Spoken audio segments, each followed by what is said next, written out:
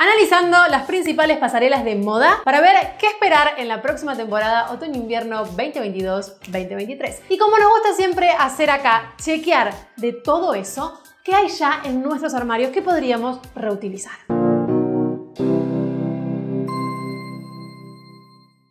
Buenas compradoras inteligentes, bienvenidas un día más al canal o bienvenida al canal si sos nueva. Yo soy Agus Pedano, tu asesora de imagen de confianza y hoy, porque lo pidieron muchísimo ya, vamos a hablar de tendencias otoño-invierno 2022-2023. Yo iba a esperar un poco más, honestamente. Dije, esperemos a que pase un poco el calor, que estemos más cerca de usarlas. Pero, siendo honestas, ni bien empezó el verano ya teníamos las rebajas de verano. O sea, cosa que nunca voy a entender. ¿Cómo podés rebajar prendas que no se vendieron porque claramente recién empieza la temporada de usarlas. ¿Mm? Pero eso será tema para otro video. La cuestión es que todo va rapidísimo, tan rápido que con 40 grados vamos a hablar de tendencias para el frío. Si te gustan estos videos resumen de tendencia y que te hacen chequear primero si hay algo en tu armario para estar a la moda sin comprar mucho más, déjame tu like, porfa, y ya que estás al ladito del like, te podés suscribir. Si aún no lo hiciste, ahí tenés todo. Ahora sí, comencemos con el color que llegó hace dos años ya y aún sigue. ¿Que yo lo amo? Sí, no te voy a mentir, pero sepan que lo menciono no por mi amor, porque yo lo uso igual, se use o no, sino porque estuvo sobre prácticamente todas las pasarelas high fashion. El rosa continúa para otoño-invierno, algo que me gusta mucho, además de por el rosa en sí, porque vamos a usar colores en un momento del año en que las calles se tiñen bastante de blanco y negro. En tanto aburrimiento y falta de color, puede ser luz, brillo, el toque que aporte algo diferente. Por eso, amantes del rosa, ¿qué hay en este tono en su armario? ¿Qué puede ser más pastel o más brillante para que lo dejes muy a mano cuando lleguen las primeras brisas de invierno? Si estás en Sudamérica, ya sabes lo que opino, úsalo ahora mismo, que en moda, ¿quién va a decirte algo por ir un poquito adelantada, Jane. La fuerza de los tonos rosados es tal que Valentino, en su desfile, decidió reemplazar el clásico rojo Valentino de toda la vida por fucsia. Y dijo que su objetivo es quitarle esa connotación como más aniñada que tiene y dejar claro que puede usarse en todas las edades. Cosa que Si lo tuyo no es el rosa, porque digan lo que digan, ese color no entra en tu armario y lo seguís viendo como un tanto añiñado, podemos irnos al otro extremo, llegando a la sensualidad y casi pasándonos. La oda a la sexualidad, de la que hablamos hace un par de videos, continúa y de ahí que podamos seguir encontrando cut out sobre todo en vestidos de noche para otoño-invierno digo, donde una vez que te quitas el abrigo quedas divina y sensual. Ahora, atentas que lo que se viene, Matrix se quedó corto. Telas brillantes, recortes, vinilo, un dark glam sexy que se notó sobre las pasarelas, una contracara fuerte de lo que fue la pandemia, de ese loungewear y distanciamiento social. Acá buscamos todo lo contrario, contacto, sensualidad, súper arreglado y un poco de fetichismo, diríamos. De hecho, imagino que muchos de ustedes vieron el desfile de Valenciaga, o al menos les llegó la foto donde las modelos salieron cubiertas por un mono completo de látex. ¿Mm? ¿Les suena? Bueno, por ese lado vamos. ¿Qué opinas de esta moda tan opuesta a lo que se venía viendo en las calles y en tiendas? Este toque sensual fuerte que puede llegar al fetiche o no, pero un sensual muy potente. ¿Te representa o no? ¿O vas más con la siguiente tendencia que es un poco más neoburgués? Déjame en los comentarios, ¿sensual fuerte o neoburgués si tuvieras que elegir una, a ver, para llevar o, o para ver más en las calles por más que no la uses? ¿Cuál de las dos? La tendencia neoburgués son las capas que las adoro. Me gusta también el toque sensual. No llegaría yo a algo como fetichismo, pero un toque sensual sí me gusta que vuelva. Siento que lo necesitamos como balance de tanta ropa de entre casa que usamos durante dos años seguidos.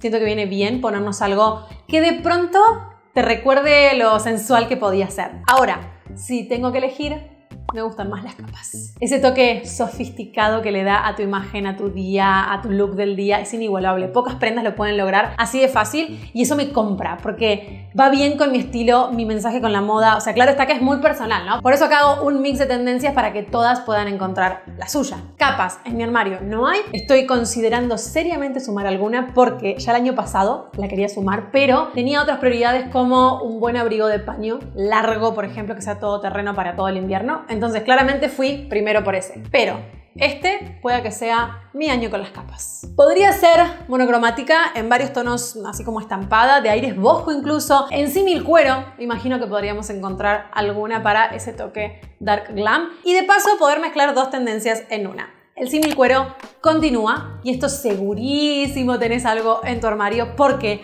viene desde hace años y aparte, un pantalón símil cuero o una chaqueta esa símil cuero es un básico de armario ya. La novedad para este otoño-invierno, y por lo que te lo menciono, es que no hace falta que sea negro, sino que se vio sobre pasarela en otros neutros como los tonos marrones o en colores directamente como lila, amarillo, rosado, azul, verde, el color que quieras, pero ahora en símil cuero. Para combinar esas prendas símil cuero más difíciles, un buen básico nunca falla. El básico del año, diría yo, es el tank top, la típica musculosa o camiseta sin manga que combina con todo, que tenés que tener en tu armario, ¿no? Para combinar esas prendas más difíciles o prendas más especiales. Claro que toda básica que tengas va a funcionar, va a seguir sirviendo, son básicos, pero la de este año en particular es de tirantes más gruesos, la clásica noventera, ya que vamos de un revival en otro, bueno, este es el revival en básicos. En estilos, hablemos de estilo preppy, un estilo particular que viene ganando fuerza en los últimos años. Anteriormente solo para colegialas,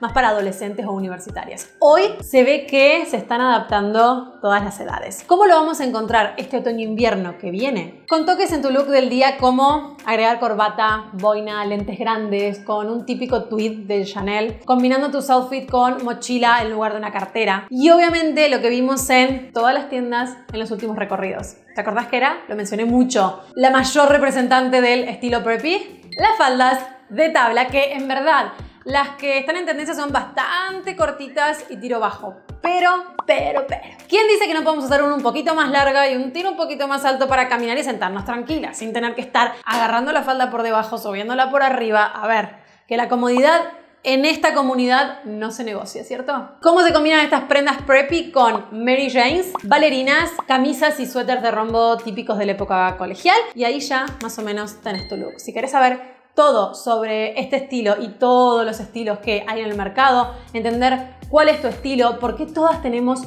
uno, más allá de que digamos, yo no tengo estilo o me gustan todos, así que no, no tengo uno que sea mío, todas tenemos un estilo. El tema es encontrarlo. Por eso, si quieres encontrarlo, te dejo acá en la descripción el link a mi guía de estilo donde vamos paso a paso y en detalle. 100% asegurado que encontrás el tuyo. Te dejo además un código de descuento que está justo disponible por si quieres usarlo, así lo aprovechas. Y te encontrás con una moda que hable de vos, que te encante, que te fascine, que cada día que te veas te encante. Ese es el objetivo con este curso. Siguiente tendencia, las botas mosqueteras, las que son bien altas, muy altas, que te hacen piernas kilométricas. Se vieron tanto sobre pasarela como en invitadas que, claro, eligieron llevar las botas del momento para hacer los looks mucho más interesantes. Porque, siendo sinceras, pocas veces vemos un calzado que ocupe tanto de tu cuerpo. Entonces, claro, cuando lo vemos llama muchísimo más la atención. Puede ser en color o la típica bota negra, solo que ahora mucho más alta. La negra puede que sea más simple de combinar. Aunque, si sos de las personas que va a ir por una de estas botas, estoy segura que no tenés ningún inconveniente poniéndote un poquito más creativa, arriesgando un poquito más para combinarlas. Décima tendencia, vamos con un especial para fiestas, pero no te limites que también se usa para el día. En verdad, con la llegada del corset, que este verano se vio tanto, se sigue viendo, este escote era imposible que no llegase tan bien. El escote, palabra de honor, que le va a dar a tu imagen estos aires como de realeza. Súper elegante, se vio mucho sobre pasarela. Si bien para eventos de noche, para fiestas es ideal, quiero que no te limites porque corset se vieron para día y para noche.